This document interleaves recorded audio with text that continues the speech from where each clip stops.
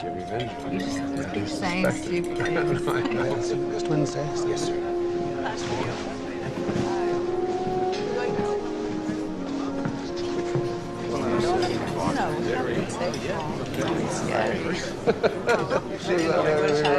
Okay, good. I know what you'd like to hear because I'm no fool. Like a book. Mind if I join you? Sorry, Father Time, we're waiting for someone.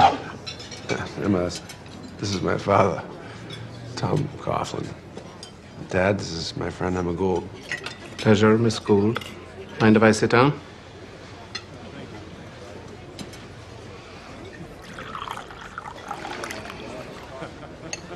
Where are you from, Miss Gould? Dorchester. No, I meant before. You're clearly Irish. Oh, my mother's people are from Cork. Really? What's her maiden name? I don't know. You don't know? She died. She's dead, me mum saw.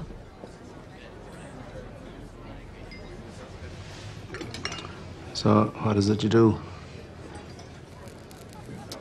It's a real swank place, this, isn't it?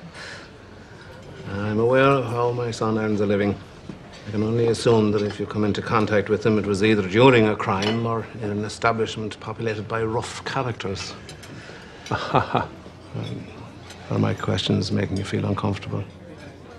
I don't know what you're on about. And to be honest, I don't really care. I'm on about you being the type of lassie who consorts with criminals. The fact that the criminal is my son isn't the issue. It is that my son is still my son.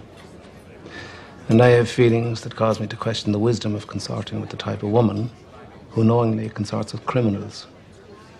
Did you follow all that? Enough, Dad. Enough. Okay? My uncle mentioned a copper on his payroll name of Coughlin. Is that you?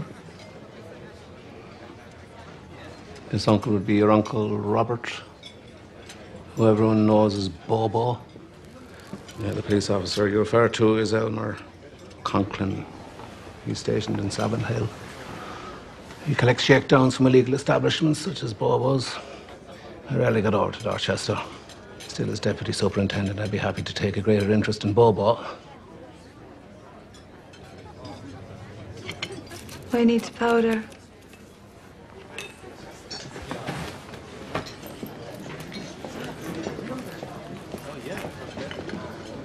Is that necessary? I didn't start the fight, Joseph. So don't criticize me for how I finished it.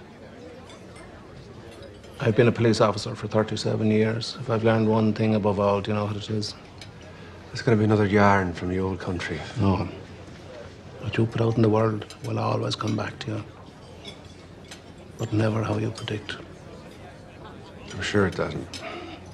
Unearned confidence of that about which one is ignorant always has the brightest glow. I think I've earned enough. It's quite easy in the eyes. Yeah, she is. Apart from that, I failed to grasp what you see in her. She's from Dorchester. That doesn't help. Her father's a pimp. Her uncle killed two men. But I could overlook all that, Joseph. If she wasn't. She just doesn't pretend to be something she's not. Maybe she's just asleep. Thanks for stopping by.